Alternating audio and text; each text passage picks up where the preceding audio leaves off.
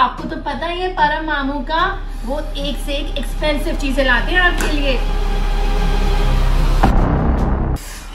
सब खत्म हो गया। सब बर्बाद हो गया। क्योंकि मेरी जॉब चली गई है। अब अब रहो एक गरीब और बेरोजगार आदमी के साथ। परम परम परम, मैं तंग आ चुका हूँ तुम्हारे परम से। मुझे नहीं देखना तुम्हारे परम मामू का कोई भी टॉय अब तुम ऐसा करो अपने भाई को फ़ोन करो कि ड्राइवर भेजे तुम्हें यहाँ से लेकर जाए।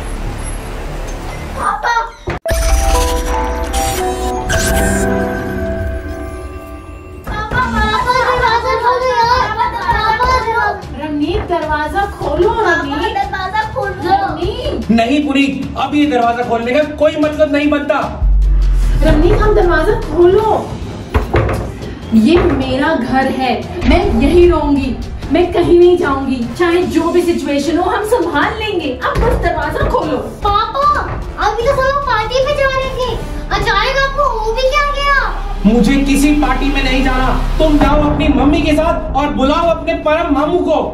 रमनीत रमनीत हम आपके बिना पार्टी में नहीं जाएँगे। हाँ जी पापा अगर आप नहीं जाओगे तो हम भी नहीं जाएँगे। पापा दरवाज़ा तो खोल दो। पापा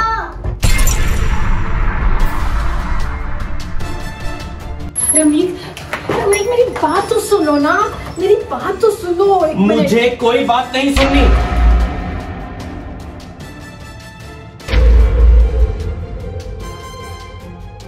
The next day,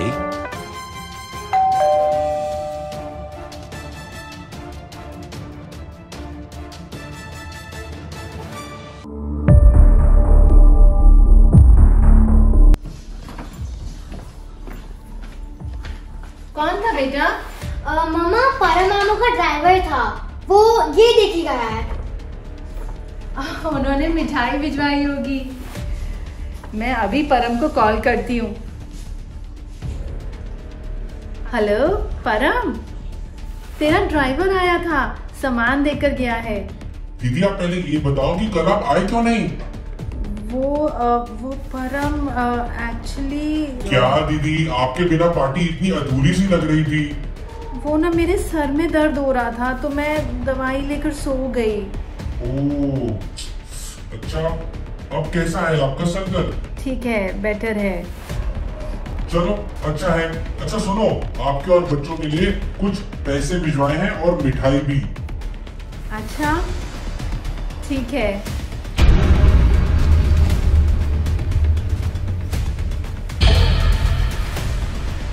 अनान्या? हाँ जी मामा।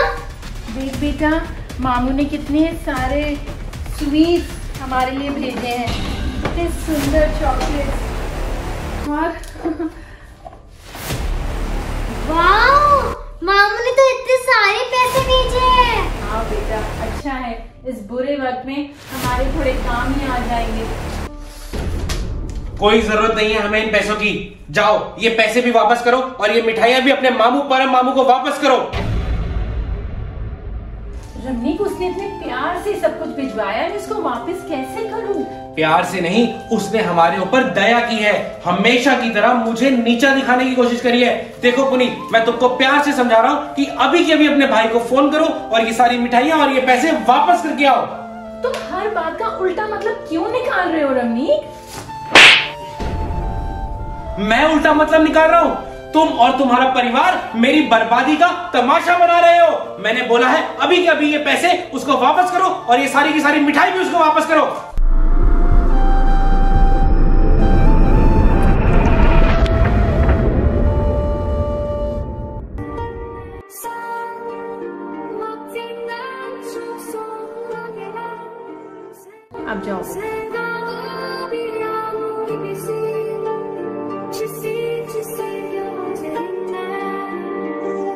क्या करूँ? अगर परम को ये पैसे वापस करती हूँ तो वो बुरा मान जाएगा। ऐसा करती हूँ इनको रख लेती हूँ और रमनीक को नहीं बताऊँगी। और ये मिठाई किसी को दे देती हूँ। कैसे दिन आ गए हैं? माइका और ससुराल दोनों को खुश रखने के चक्कर में मैं पिसती जा रही हूँ। अरे भाई मोंटी मोंटी भाई जल्दी कुछ करना यार। भाई मेरे को नौकरी की बहुत सख्त ज़रूरत है। कब तक मैं ऐसे घर खाली बैठा रहूँगा यार? प्लीज़ भाई प्लीज़ जल्दी कुछ कर यार। पापा आज हमें मॉल ले चलो ना। अरे नहीं बाबा मैं मॉल नहीं लेके जा सकता। पापा प्लीज़ ले जाओ ना। बेटा नहीं अभी मेरा मूड बहुत खराब है मैं नहीं लेके जा सकता। प्लीज़ पापा आज ही। प्लीज़ पापा ले चलो ना। मैंने बोला ना नहीं मतलब नहीं। जाओ यहाँ से।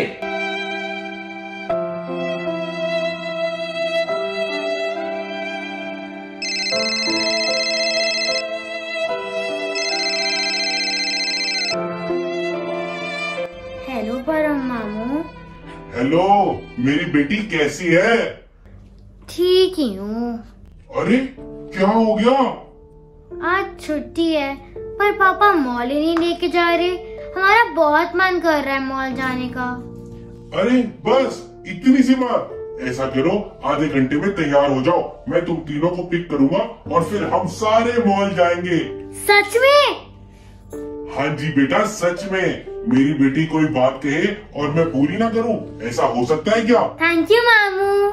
अब जल्दी से रेडी हो जाओ और शनाया और सियान को भी बोल दो। हाँ जी ठीक है। मम्मा?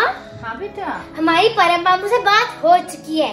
परम मामू अपना ड्राइवर भेज रहे और फिर हम उनके साथ मॉल जाएँगे। अरे वाह बहुत अच्छी बात है बेटा। जाओ बिल्कुल मामू के साथ मॉल होकर आओ। पापा भी घर पे नहीं है वो ना मोंटी अंकल के साथ कहीं गए हैं। लेकिन उनके आने से पहले घर लौट आना ठीक है? हाँ ठीक है मम्मा हम आ जाएँगे। ठीक है इंजॉय बाय बाय Later. बच्चे अभी तक नहीं आए।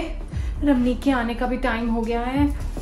क्या करूँ क्या करूँ क्या करूँ क्या करूँ? बस बच्चे रमनी के आने से पहले आ जाएँ। लगता है लगता है बच्चे आ गए। हे भगवान शुक्र है।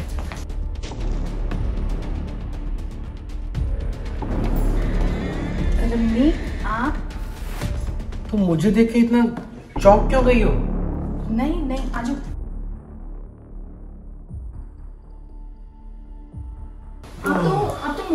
साथ गए थे ना जॉब का पता करने तो कोई बात बनी?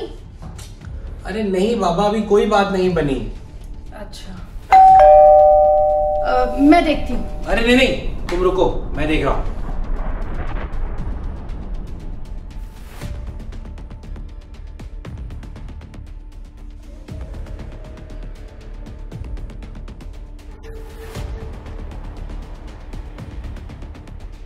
तुम लोग कहाँ गए थे?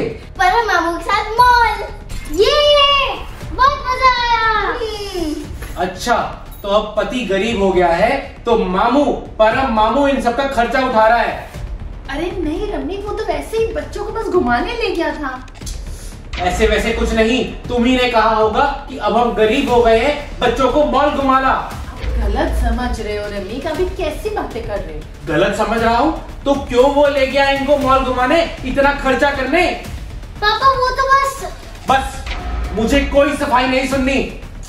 और पुनीत तुम एक बात कान खोलकर सुन लो। बहुत बेइज्जती करवा ली मैंने। अब तुम्हें अपने मायके और ससुराल में से किसी एक को चुनना होगा।